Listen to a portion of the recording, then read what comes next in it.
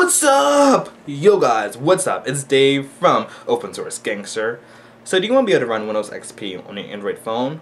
Well, it's possible. And no, I'm not BSing you in any type of way, nor am I playing some type of VNC trick on you. So as you see, running Windows XP on an Android phone is very real and possible. Now that said, it is very slow and to the point of so slow that you can't even run Minesweeper at decent FPS. So why do this? Just to impress your iPhone friends, and that's why. So that's it, a few prerequisites in which you'll need for this project is first a decent Android phone. Honestly, if your phone is crap, then it's not going to work. Even though most of the slowness from this comes from the app itself and not your phone, if your phone lacks the available RAM needed to run, then it's just going to be epically slow. And you don't want epically slow.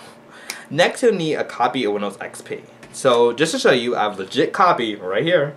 However, I know most of you will probably go to piratebay.com and download uh, Windows XP or torrent a Windows XP file and use that. So whatever floats your boat, I really don't care. But whatever you do, you need an ISO format of Windows XP, and not image format, but ISO. So if you do have the Windows XP disk, there are programs out there that you can just put it in and they'll make an ISO file format for you out of disk. And lastly, you will need at least some patience because this takes maybe about, even though this video is only about 15 minutes, the whole process takes maybe nearly close to an hour. So have patience. So the whole process, we're going to be basically doing is first creating a blank image file, then to be installing Windows XP to that blank image file, and finally transferring that blank image file to your Android phone so you can run it via the Bochs emulator. And that's basically it. So let's get this started.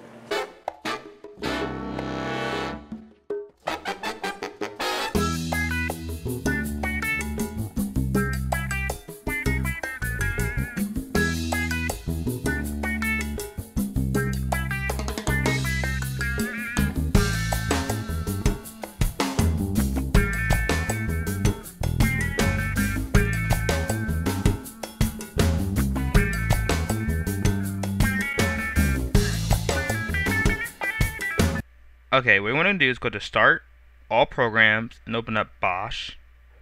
Then open up Disk Image Creation Tool. Once inside, you want to create a hard disk image. So type in HD. Then type in flat. Now for size, type in 1500. However, you can adjust this to a, whatever you want, but Windows XP generally does not need one, more than 1.5 gigabytes of size and then type in c.img and hit enter.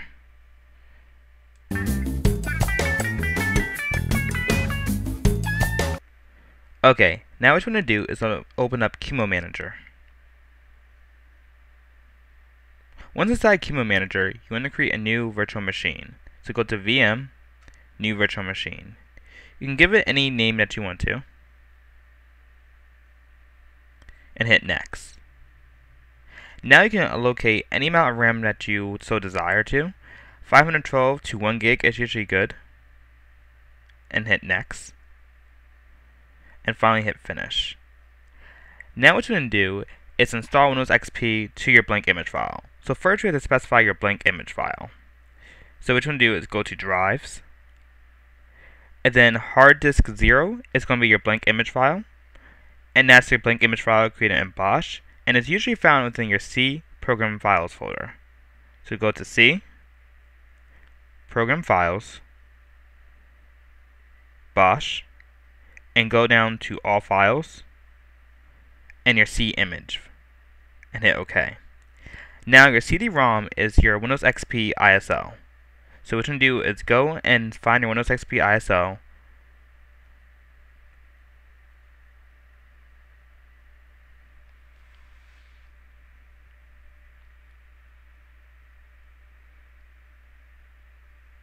And there's my Windows XP ISO. So I'm going to double click it and hit OK. Now you're ready to launch your virtual machine. So go up to the run button. And if everything goes out well, you should see this booting up, the BIOS, and you should be good to go. So what it's going to do is it's going to install Windows XP to that blank image file. Now this process is going to take from 45 minutes to an hour depending on how fast your computer is. And it's you're right now running a virtual machine. So just follow all the prompts that come up and keep going until you get to an installation. And hit enter for and hit NTFS file system when it prompts you for it. And just let the installation run and it'll take between 45 minutes to an hour and once you get to a sign-in screen, then you can officially exit the virtual machine. Okay, now my installation of Windows XP has completed. So once your installation has completed, what you want to do is first stop the virtual machine. So go to the stop button. Yes, end current session. Okay, now what you can do is go and find that image file, which is no longer blank, not that you have installed Windows XP to it. So go to your Bochs folder. It'll be your C image file, usually located in Program fo folder slash Bochs. What you want to do is copy. And then we want to do is paste it to your SD card. Make sure your phone is mounted via disk drive mode. So I'm going to go to my SD card. I'm going to folder called SDL, which if you don't have it, go back to step 1 and make sure you download it. And if you already have a C image file located in that folder, just overwrite it with your new image file. So what you're going to do is go to paste, and paste your image file.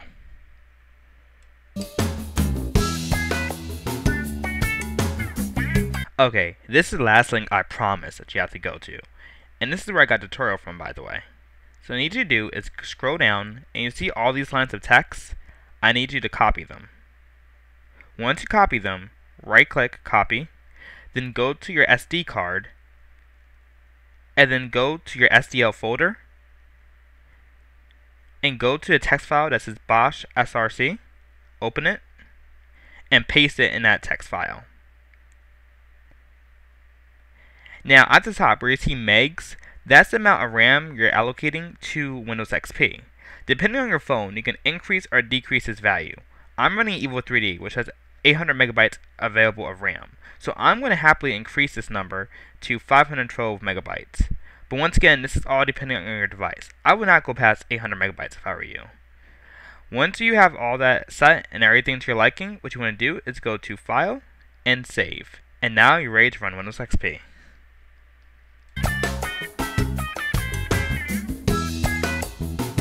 Okay, the moment we've all been waiting for. So on your phone, go and open up Bochs Here we go. It's going to be the one with the little penguin on it. And if everything goes well, which it pretty much should, you will see his bio screen. And look, it's going to start booting Windows XP. Now, remember, this is not going to be nearly as fast as your computer, so you're going to need a lot of patience. So you may be on a black screen for a little bit. So just give it a few minutes.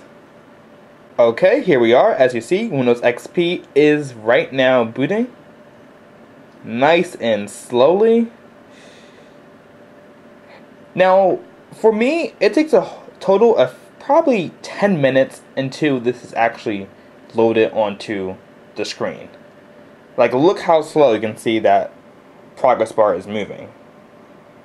So this tells you that this is not definitely going to be the fastest thing you're ever going to use. Just something to impress people with, basically. Okay, so five minutes later, I'm finally at the Windows is starting up. So maybe in another five minutes, I'll actually be at the startup screen or be at the desktop. Welcome. Oh my gosh, I think we're actually progressing. JK, it's gonna be another five minutes. Okay, so it's been about maybe 10 minutes, and I'm finally just at the desktop. Now, like I said, honestly, this is just so gosh darn slow that it, it's you really can't do anything with this because it's so slow. But here, let me just show you. So I have the mouse moving here. So the mouse does move pretty fast. Yeah, recycling bin up there. And basically Windows XP layout. Now, One thing, if you want a quick way to drain your battery, this is probably the quickest way ever you can drain your battery. Internet, there is no, well actually I never even tried accessing the internet, but I'm pretty sure there is no internet available on this, and there is no sound. So let's see, can we open up the start menu? Normally I try opening up the start menu and it takes forever. So let's see, start. Tap there.